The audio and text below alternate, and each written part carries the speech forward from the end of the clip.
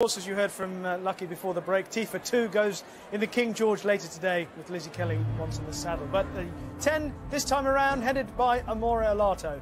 2 is Anibale Fly, 3 Karachi Apache, 4 Churchtown Champ, 5 is Might Bite for Nicky Henderson, 6 Minella Daddy uh, for the Bowens, 7 Present Man for Paul Nicholls and Jack Sherwood, 8 Royal Vacation, 9 Virgilio for the Skeltons. 10 is the other Nichols runner, Frodon, with Sam Twiston-Davies, the only four year old in the race.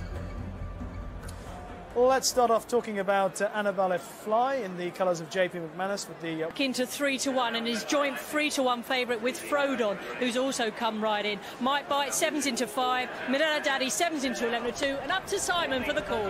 And so away they go for the 32 red Kauto Star Novices Chase and on towards the first. Minella Daddy is on the inside of Might Bite. Close up is Amore Alato and the pace looking strong from the outset here.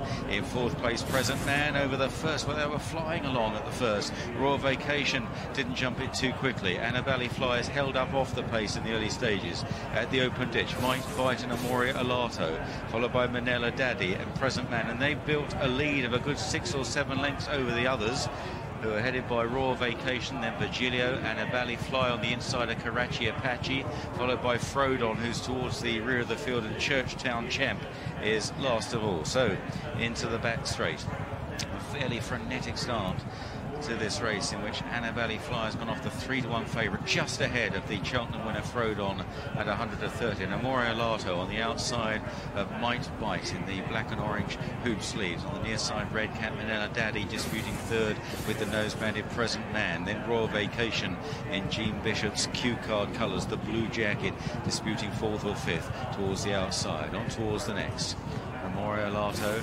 just having the advantage there of a Might Bite in second. Mistake at the back from Churchtown Champ, who landed very awkwardly. Tom Scudamore having to sit tight. Now on to an open ditch. Amore Alato on the outside. Jumps well from Might Bite. And Present Man was so nearly gone there. And Jack Sherwood nearly had his right leg over the wrong side of the saddle, but he sat tight. And they're still intact as they jump the last in the back straight. Amore Alato out in front who made all the running and jumped well when winning at Sandown on his reappearance. And a winner at this meeting over hurdles in the past. Might Bite in second. Then in third, Minella Daddy on the inside of Royal Vacation. Karachi Apache, is he being pulled up out wide? I think he is. Karachi Apache is out of the race, has been pulled up by Noel Fehily. Maybe something's gone wrong with that horse. Hopefully not too serious as they run into the home straight now. Amore Alato in the blue and pink jacket with Might Bite. They're in the air together. Minella Daddy third over on the far side. Then Royal Vacation. Present man between runners. Anibale Fly behind these with Virgilio in blue sleeves, a green jacket. On the wide outside on the right of your picture is Frodon. Anibale Fly hit that pretty hard there in the hands of Barry Geraghty. Churchtown Champ is on the rail towards the back onto the fence in front of the stands. And Might Bite and Amore Alato. Might Bite out jumping Amore Alato there. Present Man and Royal Vacation are fighting it out for third at the moment. Minella, Minella Daddy just hitting a bit of a flat spot behind them. Uh, was shaken up by Sean Bowen, then Virgilio and Frodon, who goes well, Churchtown Champ and Anibale Fly. The favourite is now last of all as they come to the end of what looked to be a very fast first circuit in this 32 Red Kauto Star Novices Chase, named after one of the great horses of all time over jumps, five times a winner of the King George, the great Kauto Star. On towards the next, Amore Alato and Might Bite, followed by Royal Vacation as they leave the ground over this plain fence. Again, Might Bite just a little more efficient than Amore Alato. Royal Vacation third, then Present Man, Minella Daddy on the inside, jumping an open ditch now.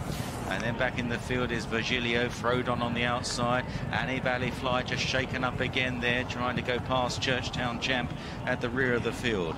So they turn into the back straight and might bite by a half length to Amore Alato and Richard Johnson begins to push away on the horse in second place. He looks in trouble then Royal Vacation in third.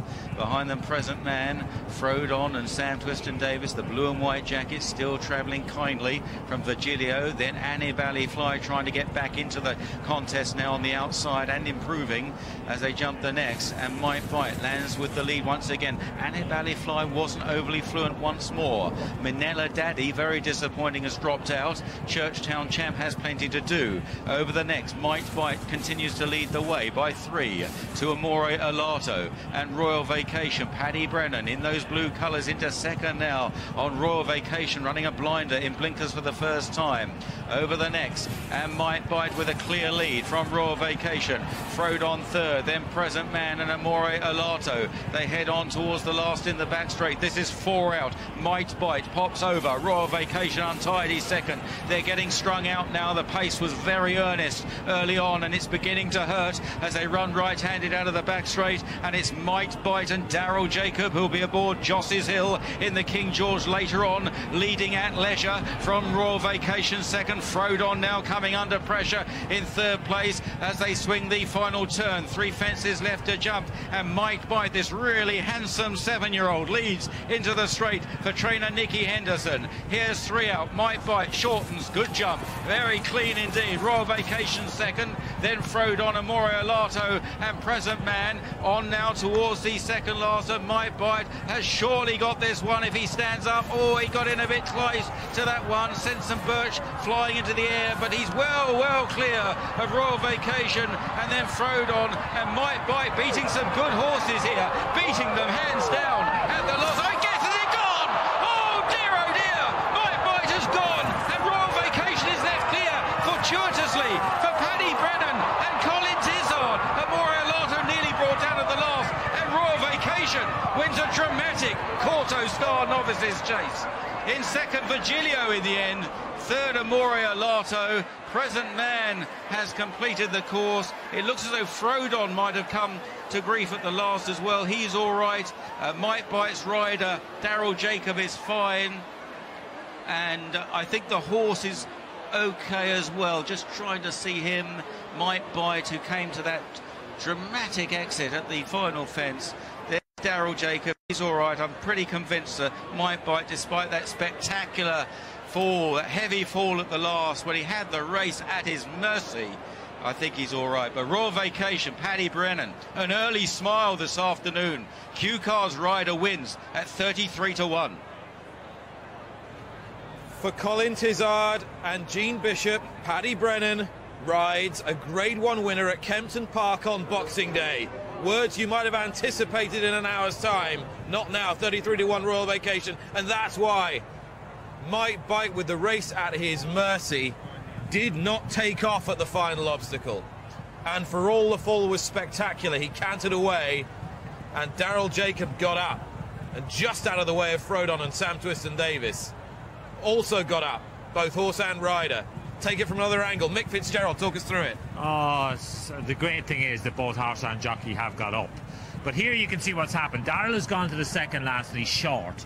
He's let the horse go short and then he thought, right, I can't do that here. I'm going to get this horse going forward, get the momentum going.